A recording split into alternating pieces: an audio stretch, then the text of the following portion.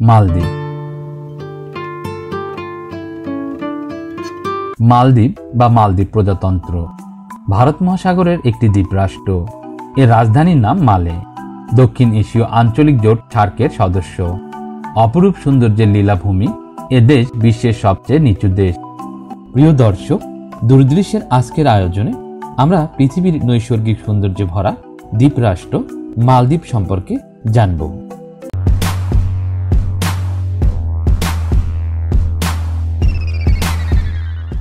পর্যটনের জন্য বিখ্যাত।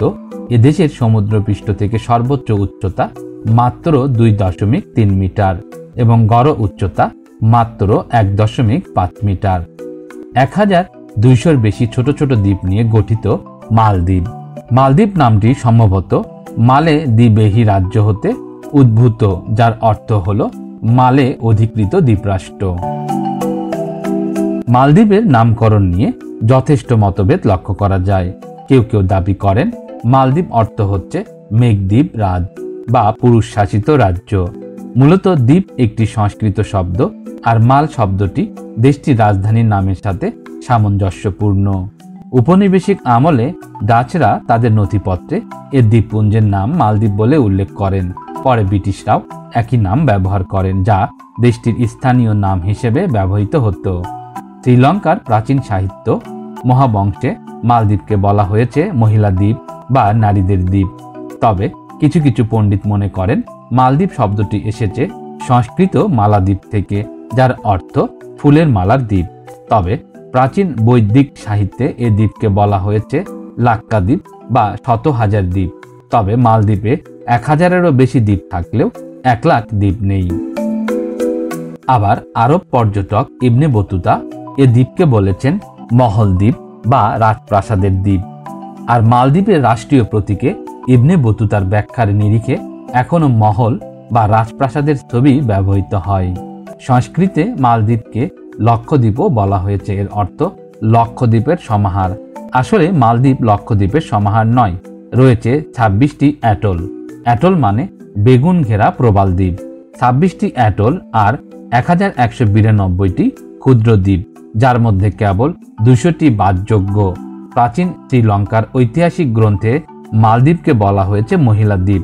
সম্রাট অশোকের সময়ই, অর্থাৎ সেই খ্রিস্ট তৃতীয় শতকেই কতিপয় বৌদ্ধ ভিক্ষুক নাকি গিয়েছিল লক্ষদ্বীপে। এরপর দ্রাবিড় ভাষাভাষী জনগোষ্ঠী ওই দ্বীপে গিয়ে বাস করতে থাকে। দ্রাবিড় ভাষাভাষী জনগোষ্ঠী সম্ভবত ওখানে গিয়েছিল দক্ষিণ ভারত থেকে। এরপর সিংহলীরা মালদ্বীপ যায়। এরা ছিল বৌদ্ধ। এরপর মুসলিমরা ওই দ্বীপে মুসলিম সংস্কৃতি প্রথিত করে। সময়টা দ্বাদশ শতক। এগারোশো তেপ্পান্ন থেকে উনিশশো তেপ্পান্ন অবধি এই আটশো বছর বিরানব্বই জন সুলতান নির্বিচ্ছিন্নভাবে শাসন করে এই দ্বীপটি। পনেরোশো সাত সালে পর্তুগিজ পর্যটক দম লেরেনকো দে আলাই মেইদা মালদ্বীপে পৌঁছায়। সে সময় পশ্চিম ভারতের গোড়ায় ছিল পর্তুগিজদের বাণিজ্য কুটি। পর্তুগিজরা বল প্রয়োগ কর আদায় করত। পনেরোশো তিয়াত্তর খ্রিস্টাব্দ মালদ্বীপের সুলতান হলেন সুলতান থাকুরু ফানি আল আজম তিনি পর্তুগিজদের মালদ্বীপ থেকে বহিষ্কার করেন। সুলতান থাকুরু ফানি আল আজম মালদ্বীপের নবযুগের দ্রষ্টা। তিনি নতুন লেখনীর প্রচলন করেন, গড়ে তোলেন সামরিক বাহিনী। ব্রিটিশরা আঠারোশ পনেরো সালে শ্রীলঙ্কা পদানত করে। এরপর পদানত করে মালদ্বীপও। যা হোক, উনিশশো সালে সালতানাতের অবসান হয় ও মালদ্বীপ হয়ে ওঠে রিপাবলিক। মালদ্বীপের প্রথম রাষ্ট্রপতি ছিলেন আমিন দিদি। তিনি নারী স্বাধীনতার পক্ষে ছিলেন। গোড়ারা পিছু লাগল, ফলে আমিন দিদি উৎখাত হয়ে যান। এরপর আইনসভা পুনরায় সালতানাতের পক্ষে রায় দেয়। নতুন সুলতান হন মোহাম্মদ দিদি। উনি ব্রিটিশদের সামরিক ঘাঁটি তৈরির অনুমতি দিলে ব্যাপক জনবিক্ষোভ সংঘটিত হয়। উনিশশো পঁয়ষট্টি সালের ছাব্বিশে জুলাই মালদ্বীপ ব্রিটিশদের কাছ থেকে পূর্ণ স্বাধীনতা লাভ করে। দেশটিতে বর্তমানে রাষ্ট্রপতি শাসিত সরকার ব্যবস্থা বিদ্যমান। প্রেসিডেন্ট হচ্ছেন সরকার প্রধান। প্রেসিডেন্টই ক্যাবিনেট মন্ত্রীদের নিয়োগ দেন এবং তিনি হচ্ছেন তাদের প্রধান। প্রেসিডেন্ট পাঁচ বছরের জন্য দায়িত্বপ্রাপ্ত হন। তবে দেশটিতে অমুসলিমদের কোনো ভোটাধিকার নেই। দেশটিতে পঞ্চাশ সদস্যের একটি মজলিসে সুরা আছে। এরা পাঁচ বছরের জন্য দায়িত্বপ্রাপ্ত হন। এই পঞ্চাশ সদস্যের মধ্যে আটজন প্রেসিডেন্ট কর্তৃক মনোনীত হন। এই একটি উপায়ে মহিলারা সংসদে প্রবেশের সুযোগ পান। দেশটিতে সর্বপ্রথম রাজনৈতিক দল গড়ে ওঠে দুই হাজার পাঁচ সালে। সাবেক প্রেসিডেন্ট মামুন আব্দুল গায়ুম কর্তৃক প্রতিষ্ঠিত এ দলের নাম দ্য মালদ্বীপিয়ান পিপলস পার্টি। একই বছর আরেকটি রাজনৈতিক দলের উদ্ভব হয় মালদ্বীপিয়ান ডেমোক্রেটিক পার্টি হিসেবে। এভাবে দেশটিতে বহুদলীয় রাজনৈতিক দলের জন্ম হয়। ক্ষুদ্র হলে দেশটিতে আছে ন্যূনতম প্রতিরক্ষা ব্যবস্থা। মালদ্বীপ জাতীয় প্রতিরক্ষা বাহিনী এমএনডিএফ নামে যৌথ প্রতিরক্ষা বাহিনী আছে। এই বাহিনীর মূল কাজ দেশের নিরাপত্তা এবং সার্বভৌমত্বকে রক্ষা করা। এ বাহিনীর হাতে দেশটির অভ্যন্তরীণ নিরাপত্তা ও সার্বভৌমত্ব রক্ষার জন্য পদক্ষেপ নিতে পূর্ব অনুমোদন দেওয়া আছে। Coastguard fire and rescue service infantry service defence institute ইত্যাদি প্রতিষ্ঠানগুলো এমএনডিএফ এর বাহিনী পরিচালনা করে থাকে। সমুদ্র বেষ্টিত হওয়া সত্ত্বেও মালদ্বীপের কোনো নৌবাহিনী নেই। মূলত পড়শি দেশ, বিশেষত ভারতের ওপর এই ব্যাপারে নির্ভরশীল। প্রাচীনকাল থেকে সামুদ্রিক মাছ হচ্ছে দেশটির অর্থনীতির মূল ভিত্তি। তবে বর্তমানে দেশটি পর্যটন শিল্পেও যথেষ্ট উন্নতি করেছে। বলা যায় দেশটির সবচেয়ে বড় শিল্প এখন পর্যটন। মোট আয়ের আঠাশ শতাংশ এবং মোট বৈদেশিক আয়ের ষাট শতাংশই আসে পর্যটন শিল্প থেকে। উনিশশো উননব্বই সালে দেশটির সরকার প্রথমবারের মতো অর্থনৈতিক সংস্কার কর্মসূচি ঘোষণা করে। এ সময় বৈদেশিক বিনিয়োগের ক্ষেত্রে উদারনীতি গ্রহণ করা হয়। গত এক দশক যাবক দেশটির জিডিপির প্রবৃদ্ধি গড়ে সাত দশমিক আট শতাংশের বেশি। মালদ্বীপের জনসংখ্যা প্রায় তিন লক্ষ। শতকরা একশো ভাগ মুসলমান, যেটা বিশ্বের মধ্যে শতকরা হিসেবে সবচেয়ে বেশি। ধি বেহি ভাষা বা মালদ্বীপীয় ভাষা মালদ্বীপের সরকারি ভাষা। এই দ্বীপগুলির প্রায় সবাই ধি বেহি ভাষার বিভিন্ন উপভাষায় কথা বলেন। এছাড়াও এখানে সিংহলি ভাষা, আরবি ভাষা এবং বিভিন্ন ভারতীয় ভাষার প্রচলন আছে। আন্তর্জাতিক বাণিজ্য ও পর্যটন শিল্পে ইংরেজি ভাষা ব্যবহার করা হয়। যেহেতু মালদ্বীপে দীর্ঘ আটশো বছর যাবৎ ইসলামী সালতানাত প্রতিষ্ঠিত ছিল, তাই স্বভাবতই মালদ্বীপের বর্তমান সংস্কৃতি অনেকটাই ইসলাম দ্বারা প্রভাবিত। ইব্রাহিম নাসির আন্তর্জাতিক বিমানবন্দর মালদ্বীপের প্রধান প্রবেশদ্বার। সরকারি মালিকানাধীন island aviation services, Maldivian, Chennai ও তিরুবনন্তপুরম, ভারত ও বাংলাদেশে আন্তর্জাতিক পরিবহন করে থাকে। পৃথিবীর কনিষ্ঠতম রাষ্ট্র, মালদ্বীপ ভ্রমণের জন্য বেশ একটি উত্তম দেশ। সমুদ্রের ওপরে বিভিন্ন দ্বীপ নিয়ে এই রাষ্ট্র গঠিত হওয়ার কারণে একে দ্বীপ রাষ্ট্র হিসেবে আখ্যায়িত করা হয়। এই ছোট দেশটিতে রয়েছে অনেক দর্শনীয় স্থান। ভ্রমণ পিপারসুদের মন জয় করবেই এই সব স্থানগুলো।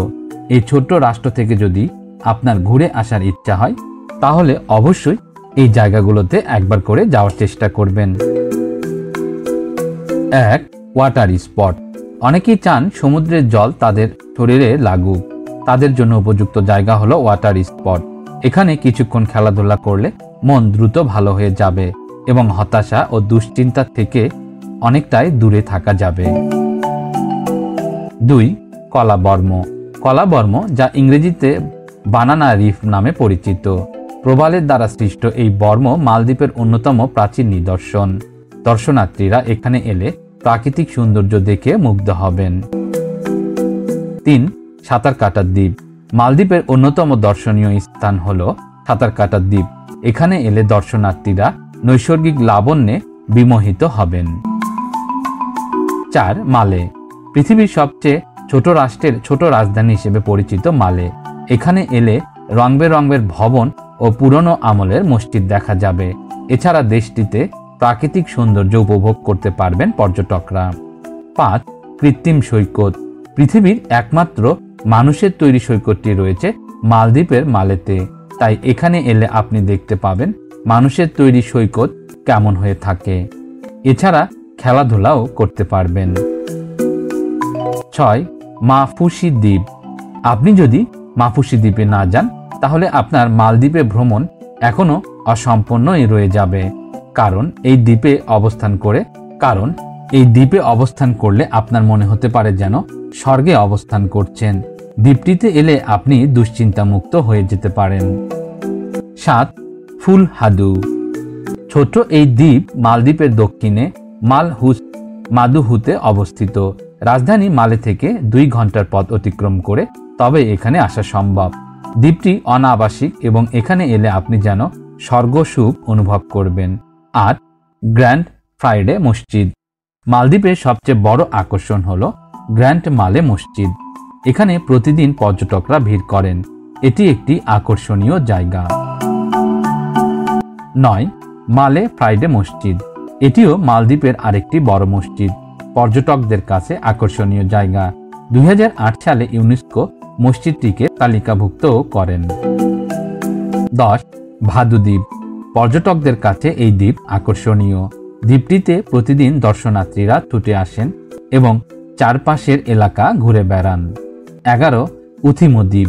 মালদ্বীপের ইতিহাস সমৃদ্ধ একটি দ্বীপের নাম উথিমো দ্বীপ।